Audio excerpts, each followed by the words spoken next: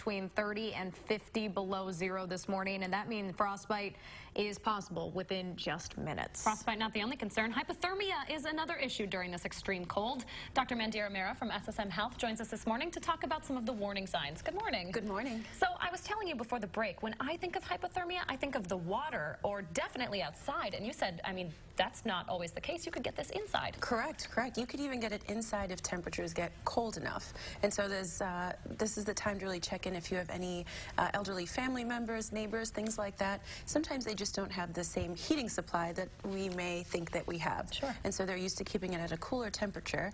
And with these cold temperatures, with those cooler temperatures, even indoors, things like hypothermia can set in. And so hypothermia doesn't take a lot. If you think about it, the human body really just has to be at about 98 degrees. And so we do our best to keep it at 98 degrees. Whether it's extreme cold, extreme hot, the body does a pretty good job at trying to regulate that. Problem is, suddenly with these temperatures, we're talking negative 30, negative 50, that's 120 to 150 degree temperature change suddenly that the body's exposed to. When that happens, obviously those regulatory systems aren't really in place. That's when hypothermia sets in. So we're talking about initially symptoms like pain, um, cold feelings, things like that. When it starts getting extreme, we start feeling the absence of pain because suddenly your nerves are shutting down. So you don't feel that pain, that cold. Mm. You start uh, having other symptoms, things like muscle weakness, fatigue, confusion. Ultimately, your heart and your uh, brain really just can't keep up, and the ultimate demise is hypothermia. And so a lot of us think of maybe a famous movie scene, like you said, someone in the water, that scene yep. in Titanic with Leonardo DiCaprio, but it can just happen being outside. So if you are with somebody and you start noticing maybe they're not making sense or they're confused, lethargic, taking shallow breaths, these are all signs of hypothermia, and you need to contact 911 immediately.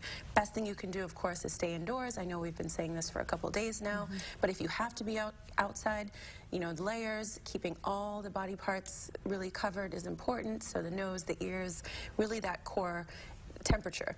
Now, what's really interesting is that in temperatures like this, people often think, let me drink some alcohol. That'll keep me warm and let me feel good. But there's science behind why you don't want to do that. And this affects all of us that maybe are just enjoying a game outdoors or, or celebrating something, and of course the home homeless population. Sure. So alcohol actually does the opposite. What it does is it vasodilates, so you get that warm feeling sure. in your extremities, but your core temperature is dropping, which actually makes you more susceptible to things like hypothermia.